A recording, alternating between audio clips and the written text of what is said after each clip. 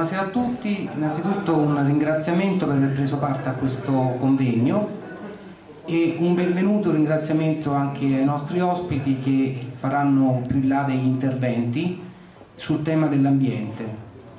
Però prima di dare spazio a loro eh, vi chiedo due minuti per poter vedere un filmato.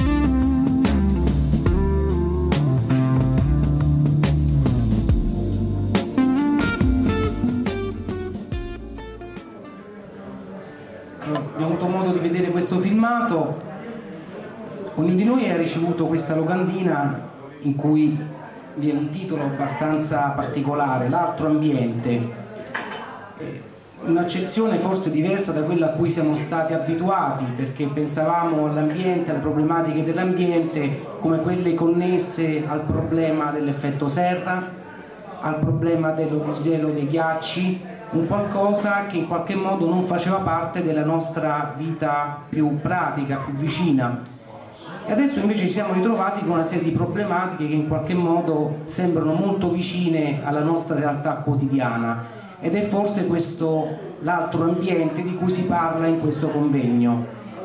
Adesso voglio dare la parola ai nostri ospiti e in particolare ringraziamo Roberto Torre, presidente del CAT Roma, Comitato Ambientale Territoriale. Un applauso.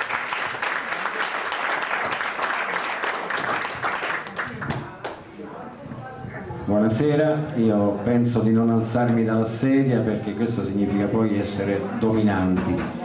Noi abbiamo solo il tavolo per una questione di praticità, ma non vuole essere un tavolo come quello dei politici che invece creano la solita barriera. La grande soddisfazione eh, innanzitutto è stata quella di non avere istituzioni a questo tavolo e in un momento come questo che noi stiamo vivendo dove tutto sta scivolando, ci sta cascando addosso, Io devo ringraziare prima di tutto quel fenomeno che ha inventato internet e che ha permesso di incontrarci, di fare la comunicazione vera, di esprimere i nostri problemi, i nostri pensieri, senza bisogno di essere segnati o legati ad un albo di giornalisti, che è una casta vera e propria che condizionano la vita quotidiana di tutti noi. Però io tornerò alla fine su questo problema. Intanto voglio ringraziare voi in sala di aver raccolto eh, questo invito, perché il lavoro quando si mette in piedi un convegno sotto una campagna elettorale credetemi c'è da sormontare montagne con tutte le guerre, le vecchie guerre che questi signori politici nefasti oramai e auguriamoci in via di estinzione perché altrimenti sarebbero guai duri per noi. E organizzare questa cosa è stata una vera faticata, ma l'abbiamo fatto col cuore, l'abbiamo fatto volentieri e io voglio ringraziare soprattutto eh, l'avvocato Lucio Barletta che è il presidente dell'associazione OS Diritti Sergio Apollonio che è il presidente del comitato di Malagrotta, eh, Serenetta Monti, eh, amici di Beppe Grillo, Dario Tamburrano, amici di Beppe Grillo e abbiamo anche eh, Stefano Franco, amici di Beppe Grillo e eh, Antonio Amati, comitato per l'Aniene. Questa sera io lascerò molto spazio a loro, eh, chiaramente nell'arco però ecco, chiedo venia dei 5-6 minuti e sulle problematiche che magari chi abitava a Malagrotta non sapeva cosa accadeva a Roma Est o fuori Roma o chi era a Roma Ovest e non sapeva cosa succedeva a Roma Nord perché questi signori ci imbastiscono con questi telegiornali. E noi ci basta vedere il TG1 con Riotta sinceramente vorrei tornare bambino per imparare a vomitare su queste cose che ci stanno regalando io allora intanto per iniziare darei la parola subito a Sergio Apollonio che ho avuto il piacere di incontrare, ho avuto il piacere di condividere un'intera giornata sulla discarica di Malagrotta che Malagrotta poi è la più grande discarica d'Europa ma significa Roma e tutti noi. E siamo veramente in un'emergenza peggiore di quella di Napoli. Molti di voi questo non lo sanno perché la televisione non lo racconta. Sergio io vorrei lasciarti il microfono e grazie per il tuo intervento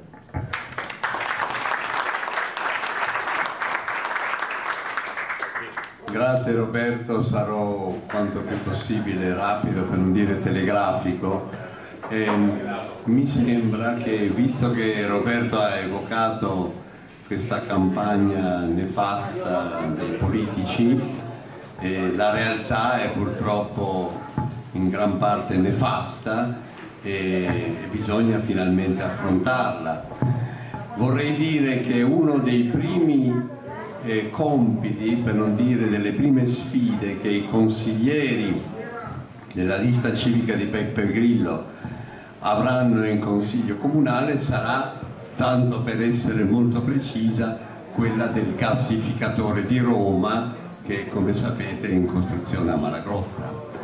Noi ci siamo opposti in tutti i modi a questo gassificatore, da due anni abbiamo fatto manifestazioni, scioperi della fame, eh, interventi da ogni parte, a nulla è servito l'ingranaggio degli interessi eh, economici, politici, eh, di, di, della casta allargata va avanti e, la, e ormai praticamente il gassificatore è costruito. Ora, che cosa succede? Per eh, affrontare il problema c'è un punto molto preciso. La valutazione di impatto ambientale di questo impianto, non quella che avevamo chiesto noi, cioè la valutazione di impatto ambientale complessivo di tutti gli impianti dell'area, che sono tanti, che creano una massa che fa di quella zona una delle più pericolose potenzialmente non solo del Lazio ma d'Italia, non la valutazione di impatto ambientale complessivo che non è stata mai fatta, ma la valutazione di impatto ambientale che è stata fatta dalla Regione. Questa valutazione prevede che in maniera tassativa il gassificatore non possa entrare in funzione se non vengono effettuate in maniera continuativa le misurazioni delle emissioni al camino. Ora, neanche, neanche, la cosa sperimentale della prima linea del classificatore può partire se queste misurazioni non vengono effettuate. Quindi questo è scritto, è il documento ufficiale della regione, questo bisogna prenderli a, eh, dice, eh, alla lettera e quindi esigere che queste misurazioni vengano fatte. Seconda cosa, la questione della, eh, eh, del monitoraggio dell'area della zona. incredibile ma vero, in quella zona ultra inquinata, sovraccarica di impianti, dove da 50 anni sono stati scaricati qualcosa come 50 milioni di tonnellate di rifiuti romani, in quella zona non c'è neanche una centralina. Allora, abbiamo avuto l'impegno, l'assicurazione, la promessa, il giuramento dell'assessore eh, regionale all'ambiente che la cosa sarebbe stata fatta. La cosa non è stata ancora fatta Adesso ci dicono è in corso una gara, una gara europea addirittura per comprare una centralina un po' complessa, ma insomma una centralina che non è niente di, di, di particolare. E nel frattempo noi abbiamo detto non può partire la sperimentazione dell'impianto fino a che non c'è la centralina. Allora ci hanno promesso un mezzo mobile che adesso sta ad aprire. Ecco, questi sono punti specifici, credo, che i consiglieri dovranno assolutamente attaccare. Non mollare l'amministrazione su questi punti specifici perché sono punti specifici posti dagli stessi documenti dell'amministrazione. Eh, in terzo luogo, eh, diciamo, eh, dunque, misurazione al camino dell'impianto, centralina di monitoraggio di tutta l'area e poi diciamo, raccolta differenziata perché noi abbiamo cercato raccolta differenziata spinta, cioè porta a porta, noi abbiamo cercato anche di essere non solo diciamo negativi perché è giusto dire no quando la cosa è un'offesa all'ambiente e alla salute, ma abbiamo cercato anche di, di, proporre delle soluzioni alternative, insomma voi sapete benissimo la soluzione eh, di, di base per il problema dei rifiuti è quella della raccolta porta a porta la raccolta porta a porta sta partendo nel quartiere prospicente la discarica di Massimina. Allora, una cosa che bisogna esigere per evitare che questa non sia semplicemente una ciliegina sulla torta è un programma, un cronoprogramma, perché l'amministrazione dice entro l'anno saranno 100.000 i romani che potranno eh, diciamo, praticare questo sistema di raccolta moderno e civile. Un cronoprogramma che preveda diciamo, i passaggi successivi di tutti i quartieri della città, 100.000 all'anno è penoso, insomma è pochissimo, bisogna, bisogna assolutamente andare a fondo su questo problema, che non sia semplicemente un, un belletto, una cosa che, la, che, che il comune e la regione fanno per far vedere che lo fanno, ma che in realtà non gliene frega niente perché purtroppo loro sono legati a filo doppio con gli interessi, eh, con gli interessi del monopolista privato dei rifiuti di Roma, si chiama Manlio Ceroni, e, con il sistema di finanziamenti che solo, come sapete benissimo, noi in Italia abbiamo eh, finanziamenti statali eh, che, che, che incentivano l'incenerimento dei rifiuti, infatti questo eh, gassificatore di Malagrotta riceverà qualcosa come 150 milioni di euro a partire da quest'anno, figuratevi voi, siamo in, cosa, in crisi climatica, effetto serra, emissioni eccetera, noi ci mettiamo a, a incentivare le emissioni, per non parlare dell'altro, quello di Albano, per quale si, si vocifera addirittura di 350 milioni di contributi dello Stato. Grazie. Sergio Pallonio per l'intervento. Passiamo adesso la parola ad Antonio Amati, Presidente del Comitato per l'Aniene. Grazie, buonasera. Grazie, buonasera.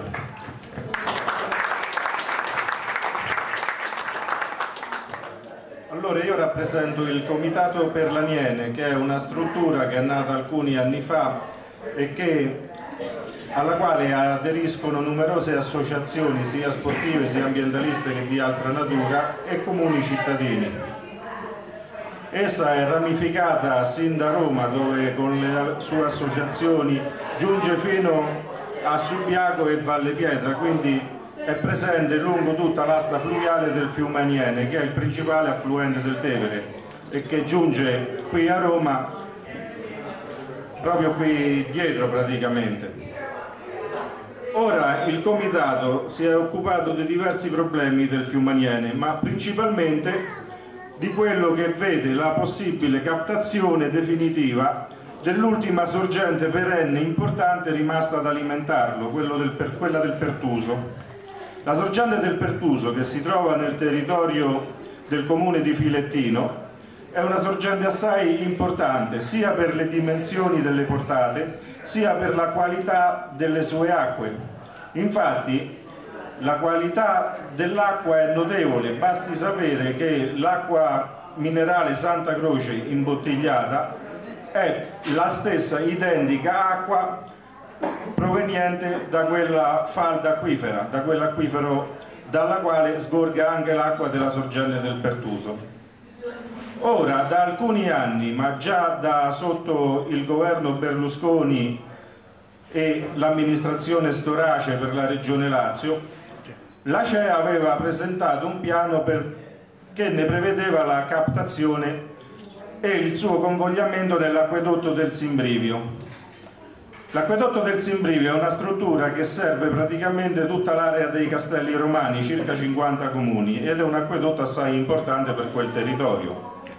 Dagli studi della CEA ATO 2 emerge però che queste reti idriche che servono questi comuni hanno delle perdite ingentissime, hanno dei picchi di dispersione che raggiungono addirittura il 50%. Ora la cosa più normale sarebbe quindi stata quella di provvedere a riparare queste dispersioni, queste falle nelle reti idriche ed invece si è provveduto a cercare di prendere altra acqua per convogliarla in un acquedotto che praticamente è ridotto ad un colabrodo. Ora questo prevederebbe la captazione di questa sorgente, ma la distruzione del fiume Aniene nel suo tratto alto e medio, perché il tratto alto del fiume Aniene è già gravato da numerose captazioni. Infatti l'acquedotto del Simbrivio già è fornito da alcune sorgenti che prima alimentavano il fiume Aniene.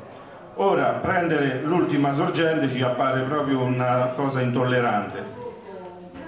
In ogni caso, per provvedere a mettere in atto questo piano, è stata fatta una campagna stampa attorno al 2002 che furoreggiava attorno ad una presunta emergenza idrica di siccità ed è stato dichiarato uno stato di emergenza con un commissario straordinario per gestirla. Ora basti pensare che mentre era in vigore questa emergenza dovuta ad una presunta siccità, l'Ardis, ovvero sia una struttura della Regione Lazio che si occupa della difesa del suolo, era costretta a prendere seri provvedimenti per evitare che le tracimazioni che il fiume Aniene stava mettendo in atto potessero causare dei danni. Quindi da qui appare evidente come sia stato incongruo questo provvedimento che mentre da una parte si gridava al lupo al lupo per la siccità e invece nello stesso tempo le piogge facevano straripare il fiume. Comunque ci fu una levata di scudi da parte delle popolazioni della Valle dell'Aniene che, appoggiate anche da numerosi sindaci in quell'occasione, riuscirono a far sì che questo progetto non venisse portato in porto. E quindi nella conferenza dei servizi della provincia di Roma e del lato 2 i sindaci votarono contro la captazione della sorgente del Pertuso acconsentendo però a una parziale captazione da effettuarsi solo in una condizione di emergenza. Ora, questa situazione di emergenza si sta protraendo tra ben sei anni, cioè dal 2002 ogni volta viene rinnovato il decreto governativo, quindi ora è stato rinnovato l'ultima volta da Prodi, che decreta che esiste uno stato di emergenza idrica. Che poi ci siano delle situazioni paradossali, basti pensare che la Regione Lazio ha chiesto al prefetto, insieme al prefetto, di, che venisse instaurata nuovamente la situazione di emergenza. Siamo venuti a conoscenza tramite dei documenti che la CEA, che è la parte in causa che vorrebbe effettuare la captazione ha scritto al prefetto affinché venisse dichiarata l'emergenza, quindi c'è un conflitto di interesse.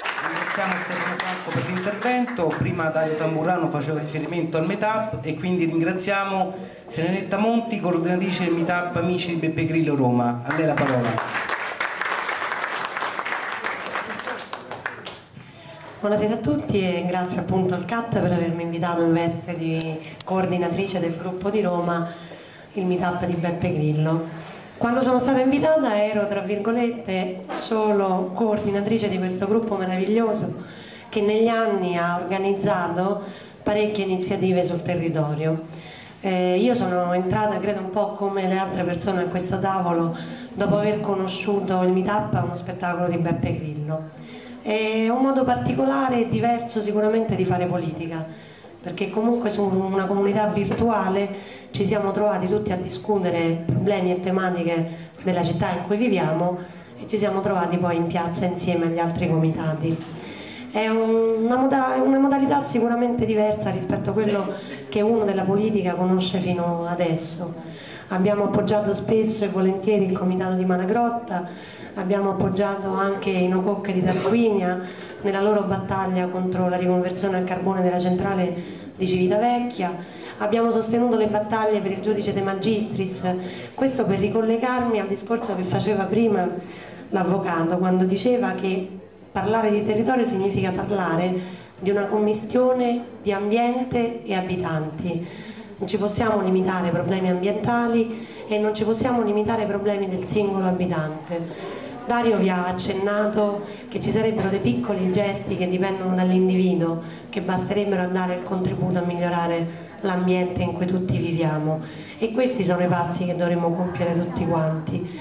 Noi stiamo per affrontare un'avventura molto particolare in questo senso perché dalle nostre battaglie fatte in piazza dietro allo striscione che avevamo preparato in occasione del V-Day di settembre, non so se qualcuno qui dentro ricorda quello che è successo l'8 settembre a Roma, l'8 settembre del 2007. Eh?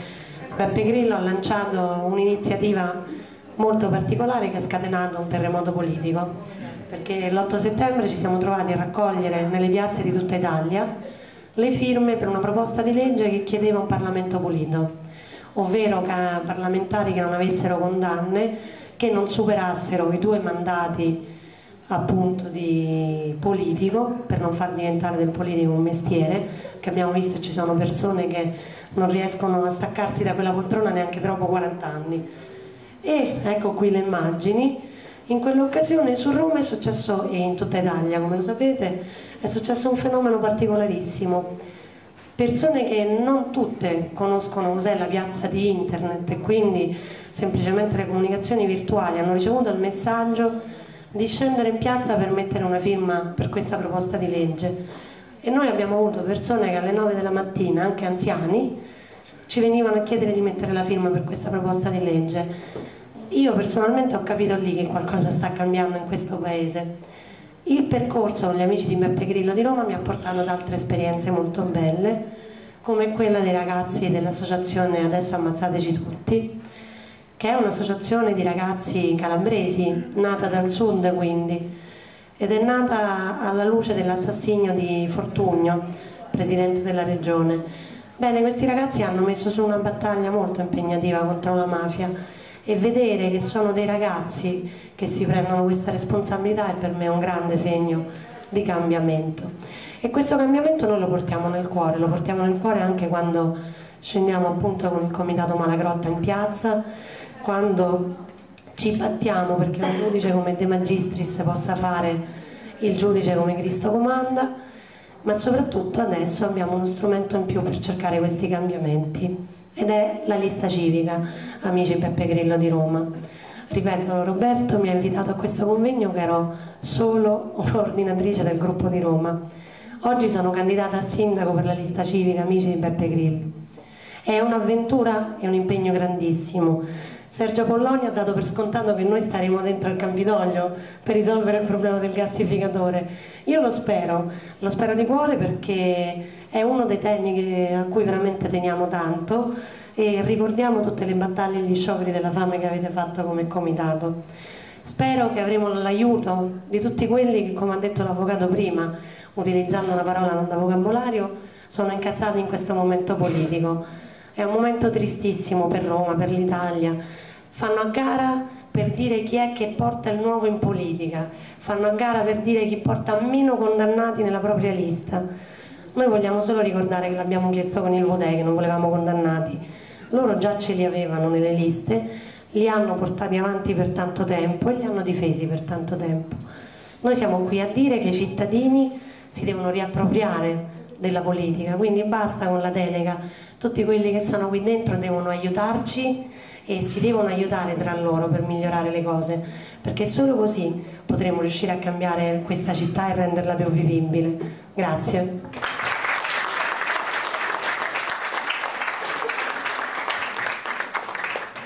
Benissimo, ringraziamo i nostri ospiti per gli interventi dai quali abbiamo sicuramente avuto modo di capire come le facce e gli aspetti degli ambienti siano molteplici. Io mh, volevo solamente fare alcune considerazioni.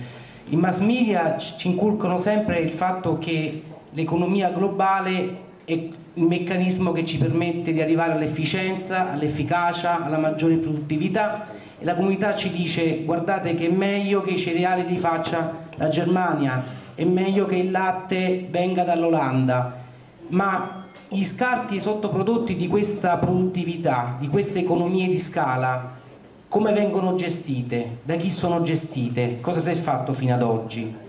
Ecco, vi lascio con questo interrogativo e avrei piacere che la parola passasse a Roberto Torre a conclusione di questi interventi. Grazie.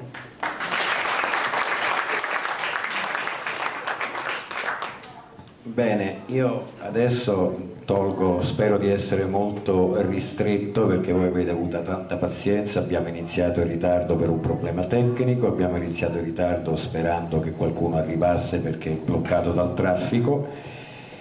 E l'altro grande problema che tantissimi non conoscono è la TAV di cui io eh, ho una storia sulle spalle lunga dal 95, siamo nel 2008 eh, ricordo a qualcuno, e forse qualcuno in sala può anche testimoniare, sono una di quelle persone che già combatteva questa politica, mi sono incatenato a Palazzo Chigi, sono stato sopra un cornicione e vi dico che avevo paura, ma la forza e la disperazione era tanta, li ho combattuti mandando filmati, dimostrazioni, oggi quando dicono ci sono le morti bianche è la solita presa in giro, perché le morti ci sono veramente, loro non fanno altro che andare a funerali e a proporre resequie.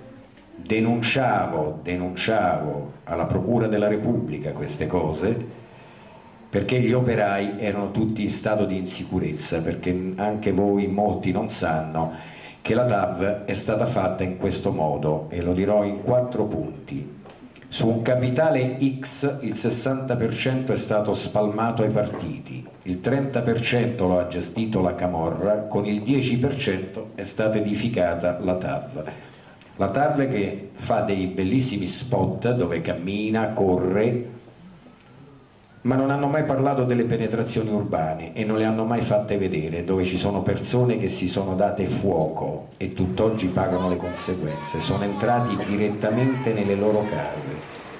Ma la cosa più grave, la cosa più grave, la responsabilità del Comune di Roma, queste case sono state giudicate incompatibili e allora cosa si sono inventati? Quello che stanno tentando di fare in Val di Suda, ma lì dovranno portare l'esercito per schierare i valligiani, pagare un indennizzo per i danni che si creavano. Allora come si può parlare di ambiente? Come si può parlare di progresso? Poi alla fine si va con la mazzetta a comprare il silenzio dei cittadini, magari offrendo una lira e colpendo i più deboli, coloro che avevano già problema di arrivare a fine mese. Io sono testimone, la TAV con gli amici di merenda, con quelli che sono poi i più pericolosi, camerieri di partito, hanno ottenuto un cambio di casa a 30 metri, a 6 metri hanno offerto 1200 euro. Quindi queste cose eh, lasciano riflettere gente ammalata, gente che si è ammalata di cuore, ci sono state morti bianche dei cantieri, ma c'è stato qualche morto per infarto. Di questo l'informazione, la becera informazione che paghiamo tutti noi, perché voi dovete sapere che milioni, milioni e milioni di euro vengono dati ai giornali che poi dicono siamo indipendenti. Da chi? Dal cittadino siete indipendenti. Quindi queste cose io inizialmente avevo detto, fortunatamente quel genio che ha permesso oggi di incontrare tanta gente, cosa probabilmente questo convegno non ci sarebbe mai stato se non c'era l'opportunità di conoscersi attraverso internet, attraverso le idee, raccontando le proprie esperienze. La TAV sta seguitando a far danni, seguitano comunque a picchiar duro anche su in Val di Susa, hanno fatto credere che c'erano gli infiltrati, la più grossa bugia del secolo. Lì sono stati malmenati anziani, sono stati malmenati bambini e donne, addirittura un sacerdote è stato buttato giù da una scarpata. Signori, la democrazia è ben altra cosa.